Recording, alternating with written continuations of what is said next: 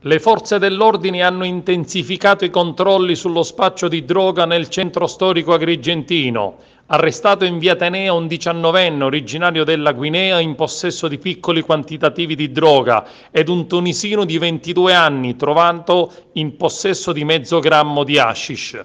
I carabinieri di Agrigento sono entrati in azione dopo un'attenta attività investigativa e dopo aver notato strani movimenti nei vicoli della centralissima via Tenea.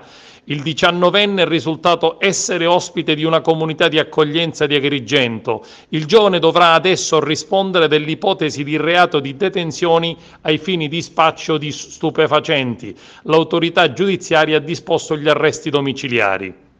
È risaputo anche dalle forze dell'ordine il fiume di droga che arriva da Agrigento e sono tante le segnalazioni ricevute da genitori preoccupati per la sorte dei loro figli che trascorrono il fine settimana in via Tenea, al Viale della Vittoria, in via Pirandello ed in altri vicoli del centro storico.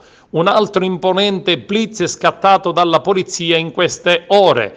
Esserci sempre lo slogan della polizia, da sabato sera fino all'alba di ieri, con una fortissima presenza di uomini. Almeno 20 pattuglie e circa 50 uomini della questura di Agrigento, comprese quelle del dodicesimo reparto mobile di Reggio Calabria, hanno raso al setaccio il triangolo dello spaccio, da via Tenea a piazza Ravanusella, passando per le vie Boccerie e Vallicaldi, un autentico rastrellamento. È uscita tanta droga, due immigrati sono stati segnalati alla prefettura perché trovati in possesso di piccole quantità e altrettanti sono stati denunciati alla procura.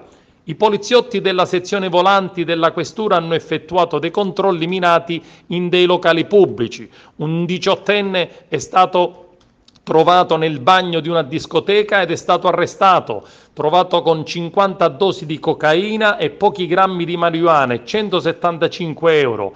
Altri due ragazzini controllati fuori dalla discoteca sono stati segnalati alla prefettura quali consumatori abituali di stupefacenti.